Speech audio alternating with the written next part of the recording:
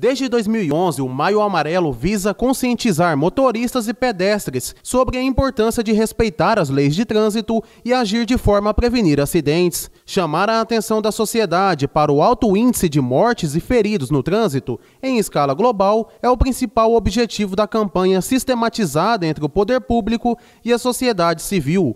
Na cidade de Pontes e Lacerda, estado de Mato Grosso, por meio de um levantamento feito pela oitava Companhia Independente de Bombeiros Militar, podemos observar o alto índice de acidentes. Conforme o gráfico, no período entre 2019 a abril de 2021, 963 acidentes de trânsito foram registrados, sendo 785 acidentes motociclísticos e 178 acidentes automobilísticos. A soldado Indiara falou com a nossa equipe de reportagem a respeito da campanha. Eu costumo dizer que as pessoas esquecem do que é feito o trânsito.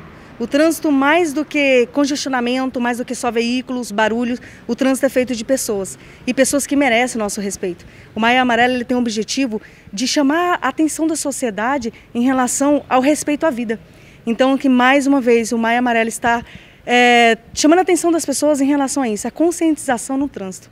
O respeito e a responsabilidade são princípios fundamentais e devem ser colocados em prática no trânsito. Sim, com certeza. É, a cada ano as pessoas é, saem de casa, não sabem se voltam. Nossa cidade, Ponce Lacerda, embora sendo pequena, bem sinalizada, mas tem um índice altíssimo de acidente. Então essas pessoas, nós temos um acidente em 2019, 436 acidentes motociclístico e automobilístico em Pontes Lacerda, atendido por nós, fora aqueles que não foram atendidos.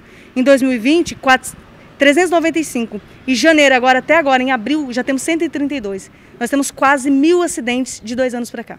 E soldado Indiário, dos acidentes de trânsito aqui no município de Ponta Lacerda, qual o mais comum? Qual a maior dificuldade dos condutores aqui em respeitarem as leis de trânsito na cidade de Ponta Lacerda?